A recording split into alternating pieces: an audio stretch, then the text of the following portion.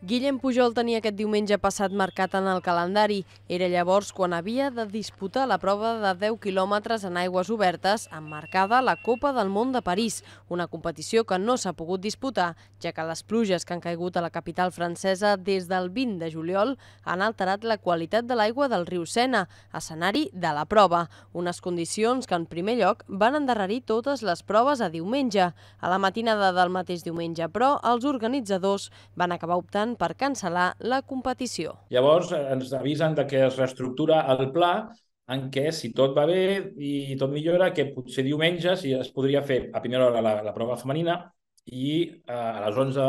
i mitja del, del matí la prova masculina. Tot fer-ho el mateix diumenge. Eh, a les 4 i quart del matí rebem una notificació de que la prova està cancel·lada perquè, evidentment, els estàndards d'aquests de, de, de qualitat no, no, no estaven a l'alçada i llavors, evidentment, s'ha de prevaldre la, la, la salut de l'esportista i,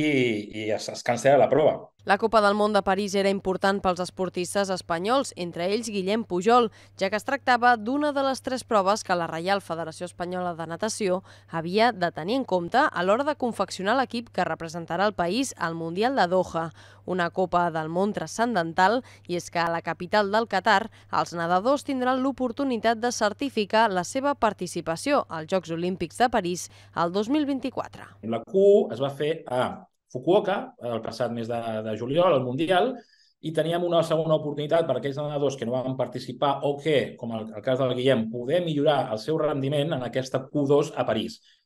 Eh, per tant, a nivell intern com a Federació Espanyola no podem utilitzar aquesta competició perquè no s'ha fet i ens estem obligats a, a la Q3 que teníem organitzada dintre d'aquest procés de selecció que serà el proper desembre a Eilat, a Israel. Per tant,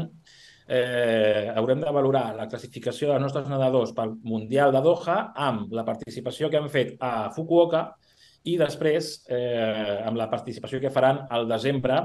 a Eilat, que també és la, la darrera Copa del Món. Així doncs, Guillem Pujol tindrà una nova oportunitat per millorar la seva marca i mantenir les seves aspiracions olímpiques a la Copa del Món d'Eilat, a Israel. Aquesta prova tindrà lloc l'1 i 2 de desembre.